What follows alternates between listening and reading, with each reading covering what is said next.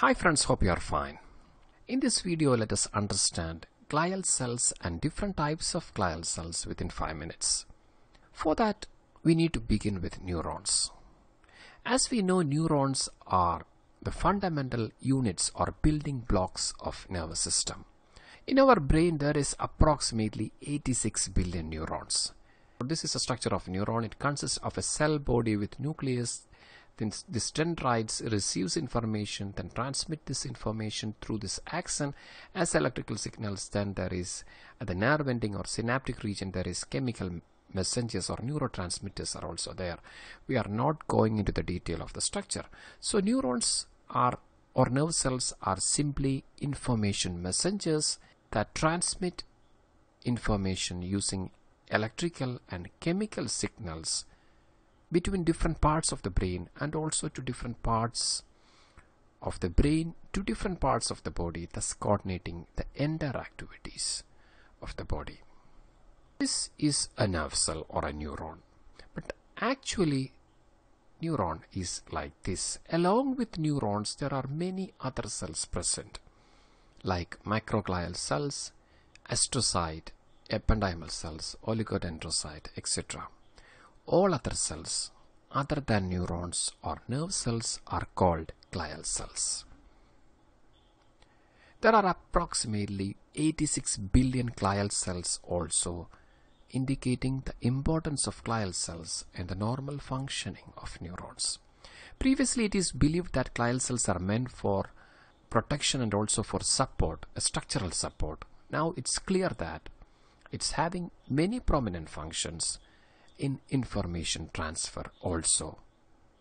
In short, glial cells are non-neuronal cells of the nervous system. They are responsible for proper functioning of neurons. They cannot generate action potential like neurons. They are having resting potential. They do not have chemical synapses also. Now let us see neuroglial cell types and function. So based on the location in central nervous system there are four types of neuroglial cells. Astrocytes, ependymal cells, oligodendrocytes and microglia. Astrocytes as you see the star-shaped cells that's why it is called as astro. It is responsible for maintaining blood-brain barrier. It controls the levels of neurotransmitter around synapses. It also plays a critical role in regulating ion concentration like potassium ion concentration and also provides metabolic support.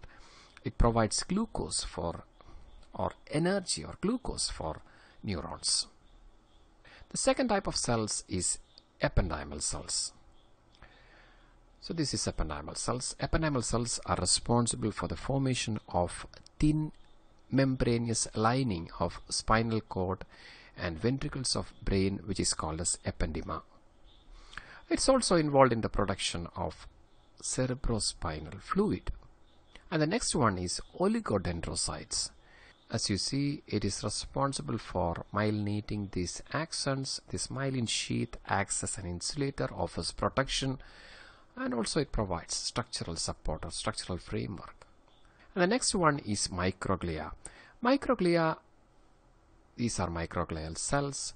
These are dedicated brain's immune cells. They are responsible for clearing out dead cells and also clearing out pathogens by phagocytosis. The four neuroglial cell types in central nervous system are astrocytes, ependymal cells, oligodendrocytes and microglia. Now let us see what are the cells present in peripheral nervous system.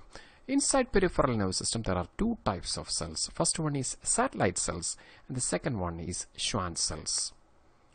So this is a satellite cell. It surrounds neuron cell bodies in ganglia. It regulates neurotransmitter levels. Whereas Schwann cells has the role of oligodendrocytes in central nervous system. It is responsible for myelinating neurons in peripheral nervous system, also involved in maintenance and regeneration of neurons after injury. So let me summarize neuroglial cell types. Based on location, in central nervous system there are four types of neuroglial cells. astrocytes, ependymal cells, oligodendrocytes, and microglia. Whereas in peripheral nervous system, satellite cells and Schwann cells are present as neuroglial cell types. Glial cells are cells other than neurons present in nervous system. Hope you are clear. Thank you so much for your support. You are with biologyexams4u.com.